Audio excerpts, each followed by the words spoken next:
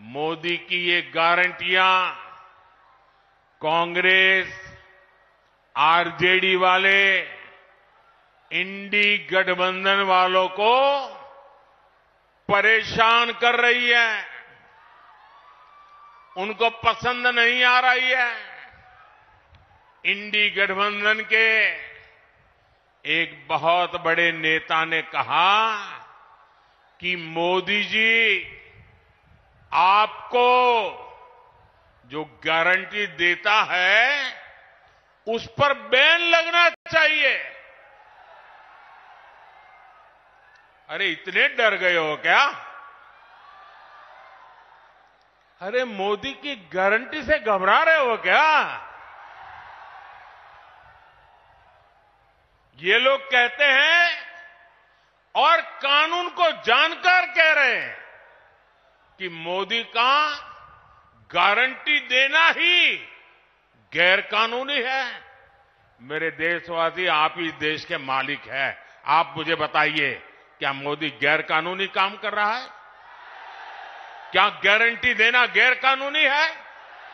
क्या मैं मेरे देशवासियों को मेहनत करने की गारंटी देता हूँ? तो क्या मैं गुनाह करता हूँ? मैं मेरे देशवासियों को यह कहूँ कि मैं 24 घंटे काम करूँगा तो क्या ये गुनाह है? मोदी गारंटी देता है, उसको भी उन्होंने गुना बना दिया।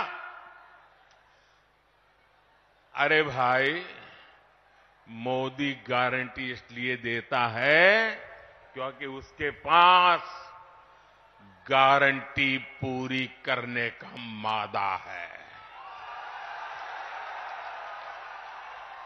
मोदी गारंटी इसलिए देता है कि मोदी की नीयत साफ़ है।